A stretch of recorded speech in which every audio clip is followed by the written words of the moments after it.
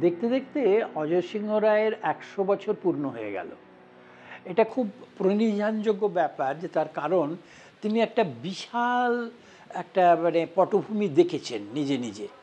এবং উনি যেহেতু লেখক ছিলেন, সুলেখক ছিলেন, সেগুলো তিনি সাজিয়ে লিপিবদ্ধ করেও গেছেন এবং ওর বইয়ের যদি কিছু এ থাকে মানে মূল্যায়ন করতে হয়, প্রথমেই মূল্যায়ন করতে হবে অনেক শিল্পী যাদের আমরা আর কোনোখানে পাই না, যাদের নাম করা আমাদের দরকার ছিল, তাদের সম্পর্কে কিছু না কিছু তথ্য এবং সেই তথ্যগুলো হয়তো সবসময় যে একবারে মানে খুবই মূল্যবান না হতেও পারে, কিন্তু তাদের নামগুলো থাকাটা, এটা উনি যেটা করেছেন, সেটা খুবই মানে যোগ্য একটা তাদের সম্মান দিয়েছেন। ওর পূর্বপুরুষ রাজপুতানা থেকে এসেছিলেন। তিনি এখানে ওখানকার সৈন্যাধ্যক্ষর মতো ছিলেন এর চিতরের। এখানে এলে পরে তিনি, সেই পূর্বপুরুষ, উনি ত্রিপুরায় আশ্রয় গ্রহণ করেন। ত্রিপুরায় কাজকর্ম করে, ফলে তাকে ত্রিপুরার মহারাজা তার প্রতি সন্তুষ্ট হয়ে জমি দিয়েছিলেন। সেই জমিদারিও তাদের হয়েছিল এবং ওরা আস্তে আস্তে বাংলা, বাঙালির কালচার বাঙালির এটা সবটা ওরা গ্রহণ করেছিলেন এবং তার মধ্যে যখন তারা দেখতে পেয়েছিলেন যে হিন্দুদের কুসংস্কার এই ধরনের কতগুলো ব্যাপার ওদের নাড়া দিয়েছিল এবং বাধ্য হয়ে ওর ঠিক পিতামহ তিনি ব্রাহ্ম ধর্ম গ্রহণ করেছিলেন। তার ফলে ওদের জীবনে ব্রাহ্ম ধর্মটা একটা স্থায়ী ভাব নিয়েছিল আর বাঙালি কালচারটা সেটাও একটা স্থায়ী ছাপ ফেলেছিল। ওর বাবা খুব অল্প বয়সে মারা যান। তারপর ওর মা অত্যন্ত ব্যক্তিত্বময়ী ছিলেন। তিনি তাদের মানুষ করেন। আর তাদের মানুষ করার সঙ্গে সঙ্গে তোদের বাড়িতে একটা অর্গ্যান ছিল। সেই অর্গ্যানের পাশে দাঁড়িয়ে ওর মা ওদের সেই সন্তানদের গান শেখাতেন। এই প্রথম তার সঙ্গীতে হাতে খড়ি, সংগীত সম্পর্কে বোধের উন্মেষ এবং উদয়।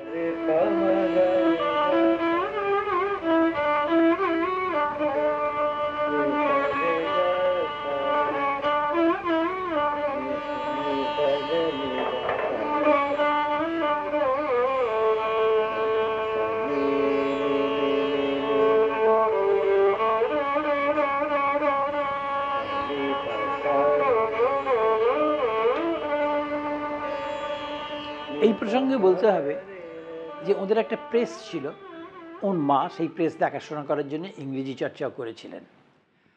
আর একটা কথা বলতে হবে, ওর মা চেয়েছিলেন যে তার এই দুই ছেলে অভয় আশ্রমে মানুষ হোক, যদিও অত্যন্ত সচ্ছল পরিবার ছিল। অভয়াশ্রম একটা অদ্ভুত জায়গা। সেখানেতে যে ছাত্ররা যেখানেতে যেত, তাদের একটা সার্বিক শিক্ষার ব্যবস্থা ছিল। সেখানেতে সার্বিক শিক্ষার ব্যবস্থা বলতে বলছি, তাদের মধ্যে যে স্বদেশ প্রেম থেকে আরম্ভ করে সমস্ত কিছু হাতে কলমে শিক্ষা দেওয়া হতো। যেমন অজয় সিনহা রায় বীজতলা করা, আমি জানি না তাকে কী বলে, ধানের রোপা রোয়া, ধান গাছ কীভাবে লাগাতে হয়, ধান গাছ কী করে কাটতে হয়, কীভাবে মই দিতে হয় সমস্ত কিছু নিজে হাতে করতে পারতেন বন্ধুদের সঙ্গে। এর সঙ্গে ওর শিক্ষা হয়েছিল কীভাবে ওলকপি থেকে, বাঁধাকপি থেকে ফুলকপি, কুমড়ো কি করে তৈরি করতে হয়, কি করে লাঙল দিতে হয়। মই দেওয়া গরুর সেই এতে এতে সবথেকে এক মজার মধ্যে উনি করছিলেন, শিখেছিলেন। আর কি শিখেছিলেন? না, কীভাবে পুরিশ থেকে সার তৈরি করতে হয় আর কীভাবে আখের রস থেকে গুড় তৈরি করতে হয়। এ সমস্ত সম্যক ধারণা তিনি ওখানেতে পেয়েছিলেন। মাছ ধরা সেখানে ওখানে পেয়েছিলেন। এবং এই কৃষিবিদ্যার প্রদর্শনী হতো, সেখানে তো সব বাইরে থেকে লোকজন আসতো। এবং এই অভয়াশ্রমে রবীন্দ্রনাথ এসেছিলেন এবং পরবর্তী অধ্যায়ে আমাদের বাবা আলাউদ্দিন খাঁ এসেছিলেন। এই প্রসঙ্গে একজনের কথা বলতে হবে মহেন্দ্রচন্দ্র নন্দী, যিনি ধন্বন্তরী এ ছিলেন, ডাক্তার ছিলেন। তার, ইনি হচ্ছেন গিয়ে অজয় সিংহ রায়ের মামা। মহাত্মা গান্ধী, যাই হোক, মহাত্মা বলতে কেমন যেন লাগে তো আর কনফিউশনের জন্যে। নানান রকম কনফিউশন ওই সব কিছু বাদ দিলে পরে যেটা পড়ে থাকে, সেটা ছিল মহেন্দ্র নন্দী। তিনি ওখানেতে সর্বধর্ম সমন্বয় করেছিলেন। এখানে বলার প্রয়োজন আছে এই কারণে বলছি। সর্বধর্ম সমন্বয় করেছিলেন, সেখানে সব গাছতলায় মিলিত হয়ে সেখানে খাওয়া দাওয়া একত্রিত হওয়া এবং ধর্মীয় অনুশাসন মুক্ত হয়ে ধর্মীয় আলোচনা, কীর্তন করা এগুলো। এবং এই সূত্রে আফতাবুদ্দিন, আলাউদ্দিন এবং আয়েত আলী খান, বাহাদুরের বাবা, বাহাদুর খান সাহেবের বাবা, এরা সবাই ওর শিষ্য হয়েছিল। শিষ্য হয়েছিল এই কারণে আর একটা যে আলাউদ্দিন খান সাহেবের যে পেটের ভীষণ যন্ত্রণা, সেটা উনি তাকে, তার থেকে মুক্ত করেন এবং ওরা ওকে গুরুবংশ বলে, অজয় সিংহ রায়কে ওরা ভীষণ ভালোবাসতেন এবং ওর বাড়িতে আয়াত আলী খাঁ সাহেবের যাতায়াত ছিল। এই মহেন্দ্রচন্দ্র নন্দীর কথা নিরোধ সি চৌধুরী তার অটোবায়োগ্রাফি অফ আননোন ইন্ডিয়ানেতে ভীষণ ভাব- ভালোভাবে বর্ণনা করেছেন। একটা কথাই বল- বলতে চাইলাম আমি এখানেতে যে, অভয়াশ্রমেতে অজয় সিংহ রায়ের একটা সার্বিক শিক্ষা হয়েছিল এবং সেখানেতে গান শেখানোর জন্যও ওখানেতে খসরু সাহেব ছিলেন, তিনি ওদের গান শেখাতেন। সেখানেও উনি অনেক বান্দিস পেয়েছিলেন এবং শিক্ষা করতেন। আরও হচ্ছে গিয়ে একটা কথা যে, অজয় সিনহা রায় যখন ওখানে ছিলেন, তখন যুদ্ধ ফেরত একজন ডাক্তার, ব্যানার্জি, তিনি ওখানেতে শল্য চিকিৎসার হাসপাতালও তৈরি করেছিলেন। তা এই সমস্ত ট্রেনিংয়ে উনি নার্সিং ট্রেনিংটাও সেখান থেকে পেয়েছিলেন।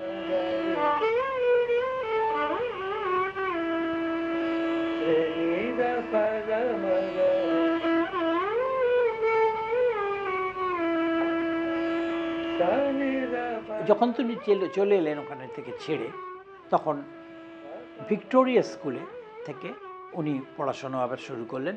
ম্যাট্রিক পর্যন্ত ওখানেতে পড়লেন। উনি ক্লাসে ফার্স্ট হতেন।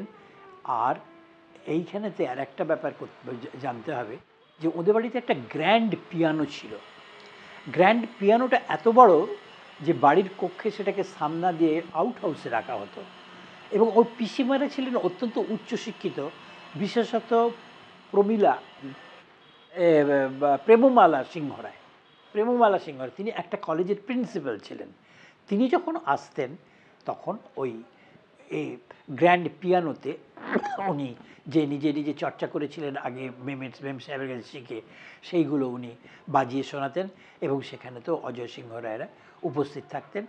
আর তখনই সমস্ত বাঙালি কম্পোজারের গান তো বটেই এবং পরে যেটা স্মৃতিতে ছিল আজই বিজন ঘরে নিষিদ্ধ রাতে সেটা যখন বাজিয়েছিলেন উনি আপ্লুত হয়ে গিয়েছিলেন। এই- পরে আমরা জানতে পারব যে প্রেমমালা সিংহর সঙ্গে কেন্দ্র করে ওর কত বিকাশ হয়েছিল। ম্যাট্রিকে যখন উনি পরীক্ষা দিলেন, দেওয়ার পর তখন ওর বিশাল সময় উনি একটা মারাত্মক ভুল করলেন, ছ থেকে আট ঘণ্টা প্র্যাকটিস করতেন এবং একটা উনি হাই স্কেলেতে গলাটাকে এ করতে তৈরি করার চেষ্টা করছিলেন। আব্দুল করিম খাঁ বিশ্বদেব চট্টোপাধ্যায়কে অনুকরণ করে। সেটা করতে গিয়ে ওর গলনালী ভীষণভাবে আক্রান্ত হলো, রক্তপাত হলো এবং ওটাকে গ্যালোপিং টিবি বলা বলা বলা হলো। এর আগে আরেকটা ব্যাপার বলতে হবে, ওর গান শেখার সূত্রটা কী করে হয়েছিল? যে পিসিমার কাছে তো হলো, মার কাছে তো হলো, খসরু সাহেবের কাছে হলো, আর গিরিজাশঙ্কর চক্রবর্তী, যিনি তখন তৎকালীন যুগে, গিরিজাশঙ্কর চক্রবর্তী তৎকালীন যুগে তাকে বলা হতো যে খুব বিজ্ঞানসম্মত শিক্ষক। তার ছাত্র সুরেন্দ্রনাথ এসে, দাস এসে এতে গান শেখানোর শুরু করেছিলেন। সেই সুরেন্দ্রনাথ দাস যখন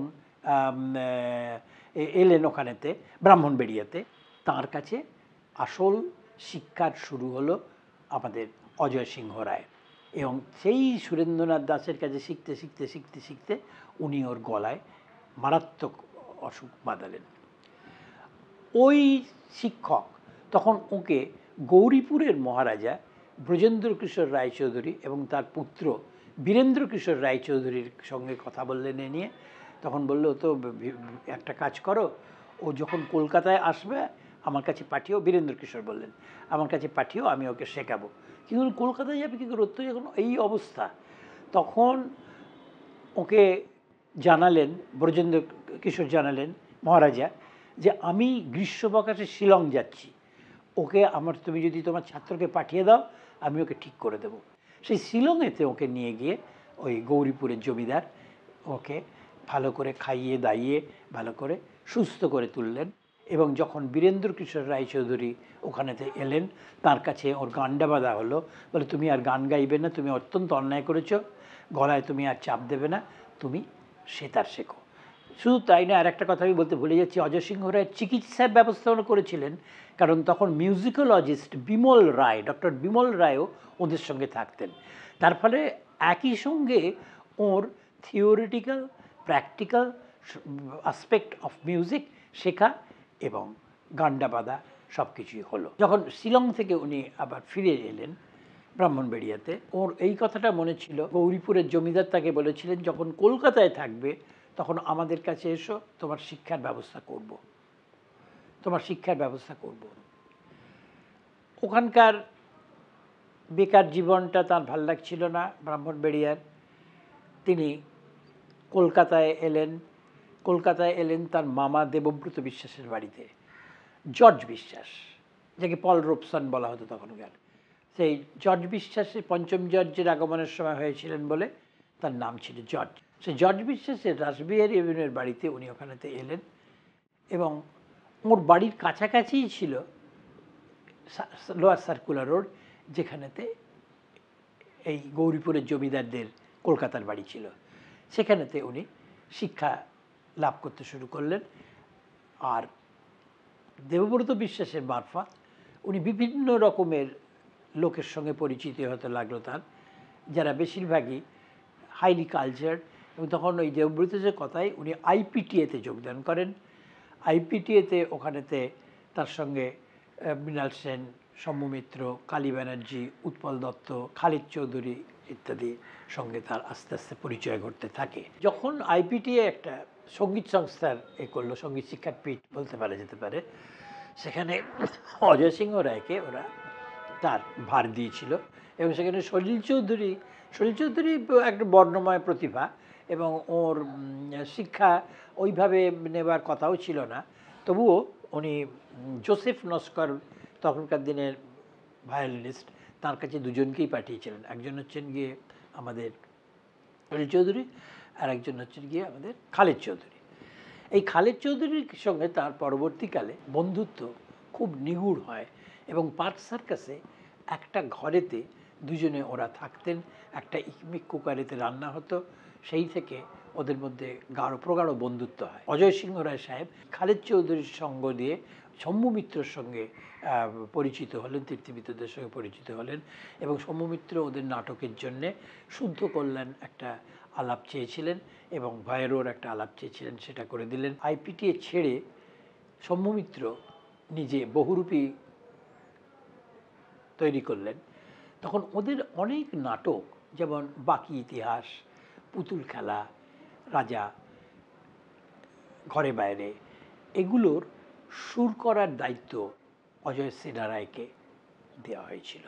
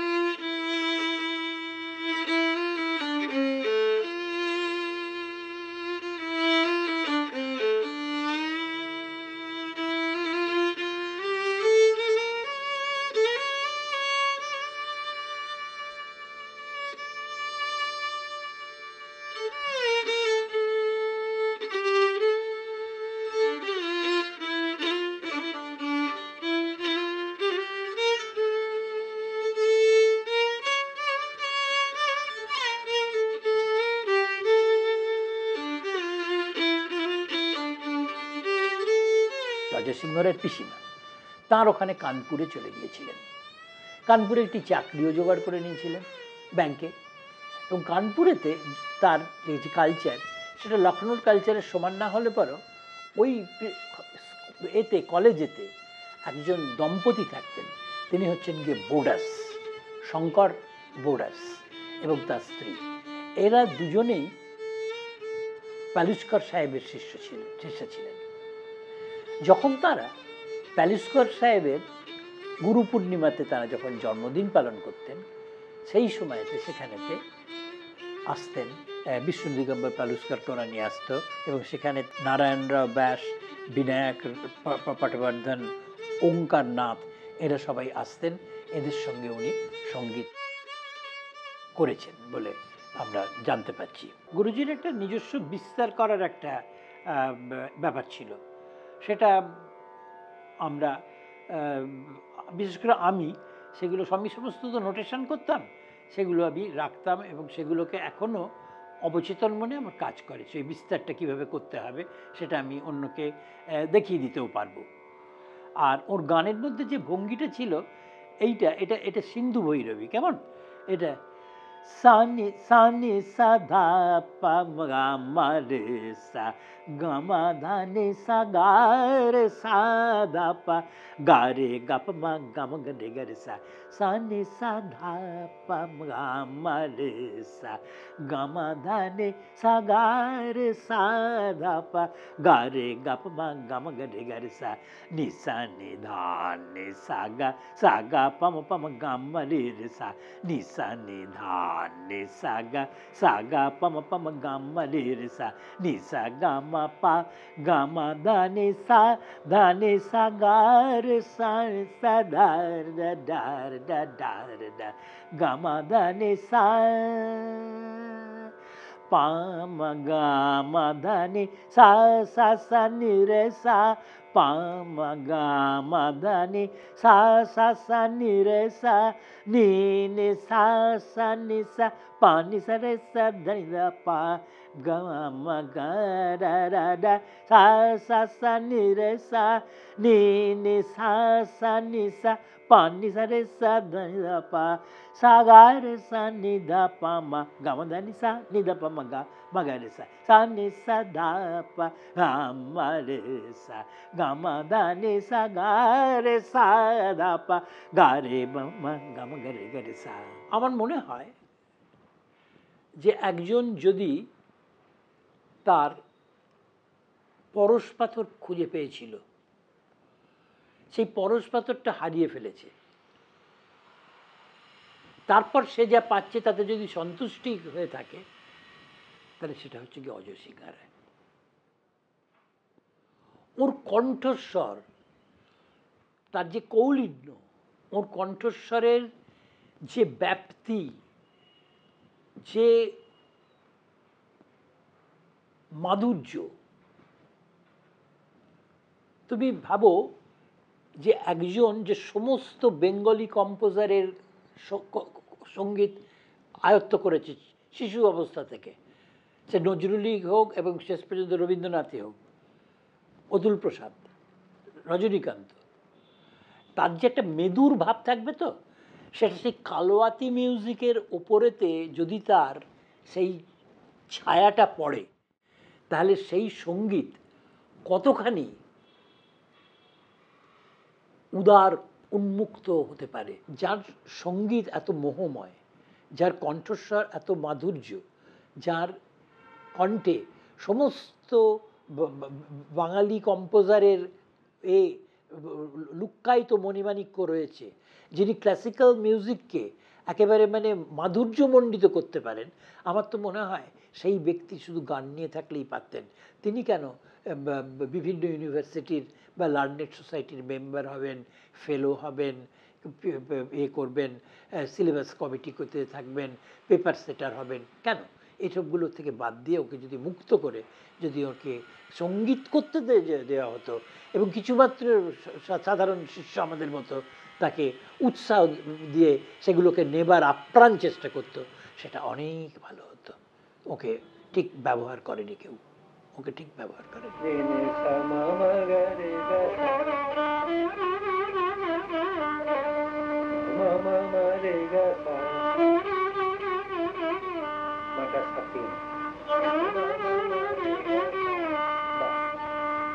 जैसे उन्होंने साथ मामा मारे गा सा अरे मारे ಸರಿ ಮಗರಿಗ ಸರಿ ಮಮ ಪನಿರ ಸ